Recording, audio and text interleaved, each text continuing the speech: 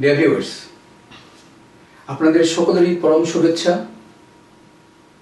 ও ভালোবাসা জানিয়ে আমি M A Hamid H Khan sir শুরু করতে চাচ্ছি আজকের ক্লাস সেশনটি।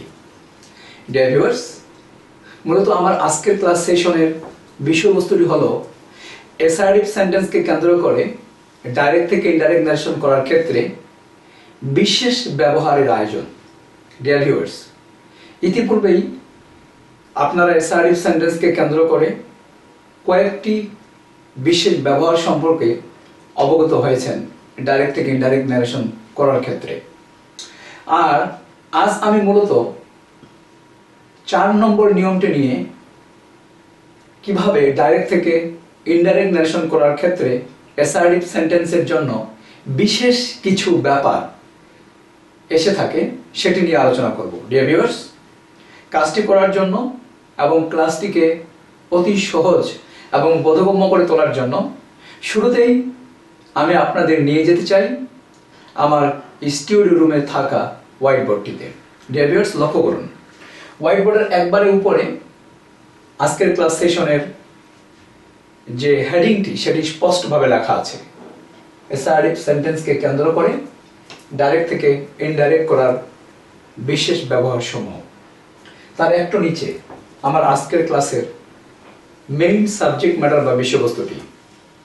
সেটি হলো নিয়ম চার, যদি রিপোর্টের স্পিচটির ভাব দ্বারা সাধারণ সত্য কিংবা চিরসত্য কিছু প্রকাশ পায়, অর্থাৎ রিপোর্টের স্পিচটিতে যাহা থাকবে সেটি দ্বারা যদি সাধারণ সত্য কিংবা চিরসত্য ভাব প্রকাশ পায়। ডিয়ার ভিউয়ার্স আমার নিয়ম নাম্বার চারে আমি কি বলতে চেয়েছি সেটির সাথে কনফর্মিটি কিংবা সিমিলারিটি অর্থাৎ সাদৃশ্যতা দেখিয়ে দেওয়ার জন্য আমি একটু নিচে, দেখুন, লক্ষ্য করুন, বাস্তব উদাহরণ দেওয়া আছে। স্পষ্টভাবে রেড কালার দিয়ে। এক নম্বর উদাহরণটিতে আমি বলেছি ফাদার সেট টু মি বাবা আমাকে বলেছিলেন honesty is the best policy সততাই সর্বোৎকৃষ্ট পন্থা। ডিয়ার বলুন তো honesty is the best policy এটি রিপোর্ট স্পিচের অংশ এবং অবশ্যই honesty is the best policy দ্বারা সাধারণ সত্য ভাব প্রকাশ পেয়েছে। সাধারণ সত্য এবং চিরসত্য বলতে মূলত আমি কি জানান দিতে চাচ্ছি, এদের মধ্যে বেসিক ডিফারেন্স কি, পার্থক্য কি, সেটিও আপনাদের আমি আলোচনায় আসব আপনাদের সাথে। Dear viewers honesty is the best policy এটি সাধারণ সত্য একটি কথা। অবশ্যই সেটি প্রকাশ পেয়েছে আমার নিয়মের সাথে সঙ্গতি রেখে। ডিয়ার সেটির ইনডাইরেক্ট ন্যারেশনটি করে দেওয়া আছে। Father told me that honesty is the best policy নিয়ম এক্সাম্পল নাম্বার টু সেখানে লেখা আছে the man said to us লোকটি আমাদের বলেছিলেন the sun rises in the east সূর্য পূর্ব দিকে উদিত হয় বা ওঠে ডেভিয়ার্স বলুন তো, সূর্য যে পূর্ব দিকে উঠে এটি অবশ্যই একটি চিরসত্য প্রকাশ বা প্রকাশনা। কারণ সূর্য পূর্ব দিকে উদিত হয়, সারা জীবনে সেটি হয়ে আসছে এবং দুনিয়ার শেষ দিন পর্যন্ত হয়তোবা একই ঘটনা ঘটবে। ডেভিয়ার্স তাহলে সাধারণ সত্য এবং চিরসত্য ভাব প্রকাশ পেয়েছে। ডাইরেক্ট নার্সনে রিপোর্ট স্পিচের অংশটুকু দ্বারা, এবং অবশ্যই সেটি এসআরইফ সেন্টেন্সও রয়েছে। সুতরাং আমার নিয়ম নম্বর চারের সাথে পরিপূর্ণরূপে সাদৃশ্যতা বজায় রাখে। দুই নম্বরটি ইনডাইরেক্ট নারেশন করে দেওয়া আছে।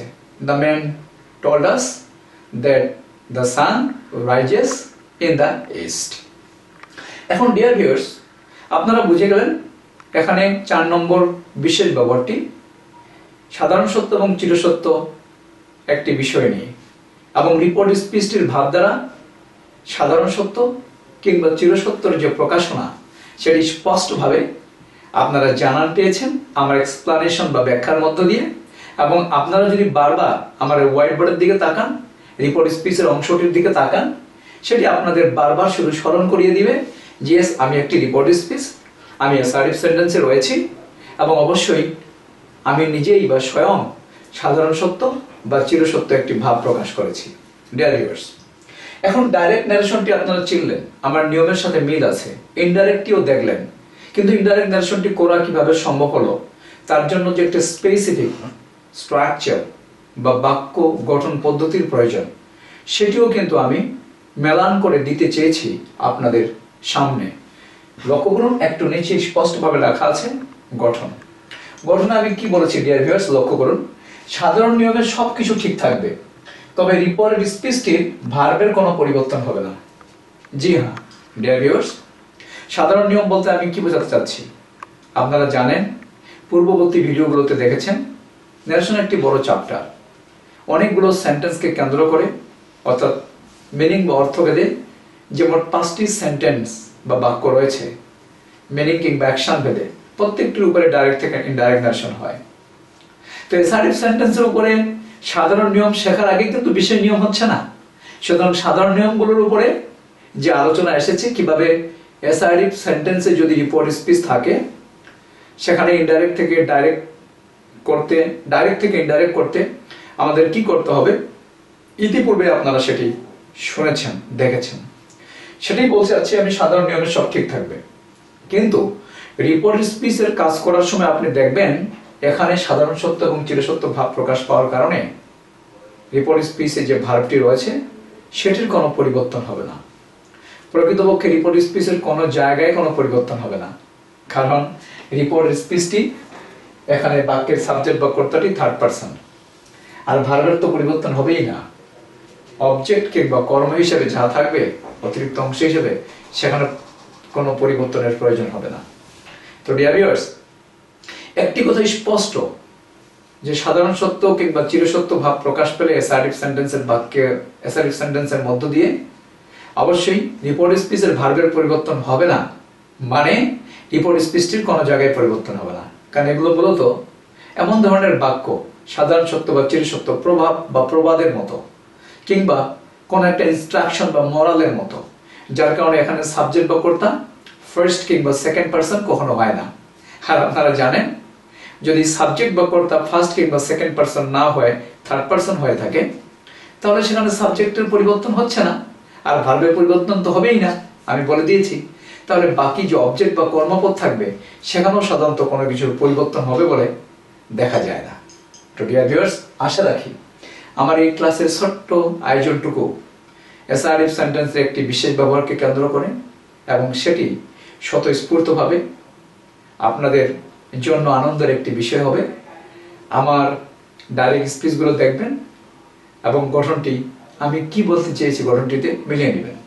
এভাবেই আপনারা যদি প্র্যাকটিস করেন I believe and I hope that you have no problem to understand any kind of matter directed, given and guided from my side তো বিহেভিয়ার্স আসার কোনো কথা আর বলতে চাচ্ছি না। আপনাদের মূল্যবান সময় আপনাদের সাথেই থাকুক। এমনটি কামনা করে বিদায় চাচ্ছি বাই